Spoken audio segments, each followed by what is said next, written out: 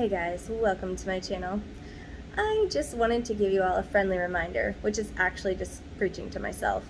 But I realize, especially when I'm not feeling good or my kids aren't feeling good, that we all just naturally have our own energy levels. And I was always, like, always comparing myself, my parenting, my housewifeness, my girlfriendness, my whatever phase I was at, I was always comparing myself to other people and thinking like if I wasn't as good as them, then you know there's something wrong with me or I'm not good enough or whatever. Hold on, got a ditch. Sorry. Um, so you know, and we all kind of do that, like keeping up with the Joneses, and like if your neighbors have a better yard, you're like, ugh, mine looks like crap, or somebody's got a better car, or someone looks like they have a better relationship than you. It's really hard not to compare yourself. So I'm just here to tell you, try not to. and I really struggle with this. And it's not so much like I want to be like other people. I just feel bad when I don't seem like maybe I'm not as successful or I don't know, like you're if if someone's house looks cleaner than mine, then I feel bad like crap, you know, mine's not that nice. Um, but if someone's is messier, I also compare that and I'm like, sweet, I'm so glad my house doesn't look like that because then awesome. Then I feel like I'm winning, you know, because like, well, at least my house doesn't look like theirs. So I do it both ways. Like, I like seeing when other people aren't perfect because then it makes me feel better. And maybe I'm a terrible person, but when TikTok moms or like Facebook moms are like, bro, look at my messy house, look at my pile of laundry. Makes me feel a lot better. Like, okay, I'm not the only one that has like piles of laundry or dishes or whatever. Anyways, all that to say is that I'm really trying, finally at 32, to not feel so guilty about everything and to not, you know, feel like I'm not enough.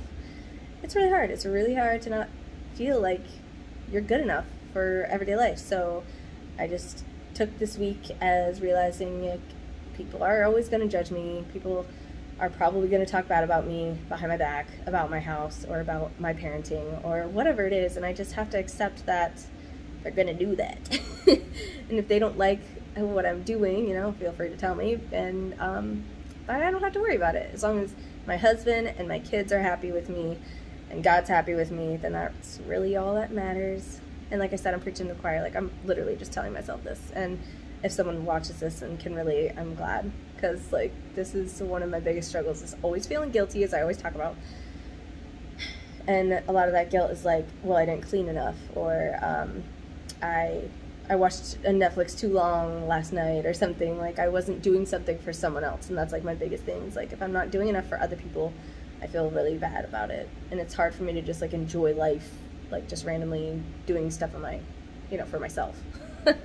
it's hard for me to truly enjoy it without feeling really guilty in the back of my head. Like even just going to lunch real quick with my mom the other day, I was like, oh my gosh, is someone gonna be mad that I'm just like, essentially, you know, like wasting time just going out to eat instead of cleaning something or running an errand or or whatever. It wasn't a waste of time. That's not what I mean, but it was like a fun activity and it was just weird for me. And it comes with like a lot of baggage and a lot of people being mad at me for things that I shouldn't have like been yelled at for or whatever. So it's kind of like a haunting thing for me. Anyway, I'm just rambling a lot and telling you, hey, just compare yourself to yourself.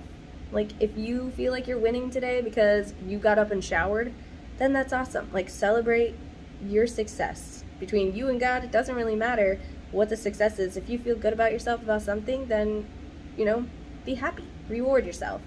And it might seem dumb and silly, but I'm talking about those of us who like really struggle day to day, like feeling like they accomplished something or feeling like they're worthy or feeling like they did enough, even though you could be, you know, wearing yourself out thin, like going, going, going, and taking care of everyone and cleaning all you can and working and all of these different things, but you still feel like at the end of the day you're just not enough or someone was left out that day. Like my kid, one of my kids literally last night was like, you don't spend enough time with me. And you know, and I was listening to her, but at the same time, I'm like, bruh, like, I have nothing left to give. Like, I, I swear, like, I'm doing everything I can to make sure my kids feel played with and happy and, like, quality time, and they have long talks, and, like, that takes a lot of energy.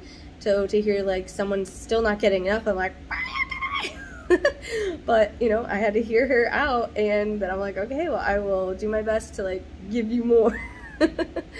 I was like, you know, if you want more time with me, you know, feel free to join me in the kitchen, like help me do the dishes or something, so then I can like do some free choice time, you know, after that or whatever.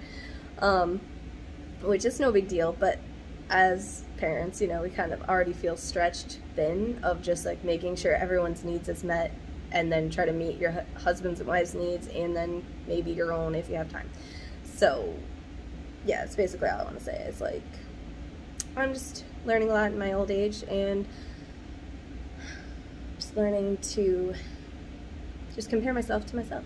And and somebody else's highs might be like unachievable for me and somebody else's lows might be, you know, my best day.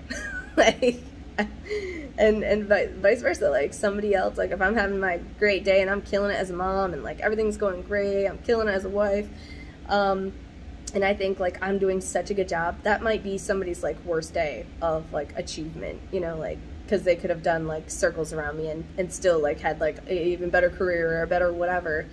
Um, and that's just got to be okay, you know. Like, we all have different speeds and we all have different mental capabilities. We all have different physical capabilities, and like we cannot compare ourselves to other people because we're not built the same. We don't have the same relationships. We don't have the same kids. Like if you think about it, every aspect of someone else's life is going to be completely different than yours.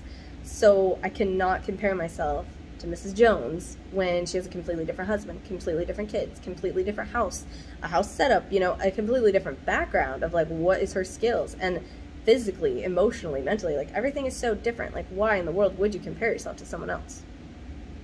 I've struggled with this my whole life.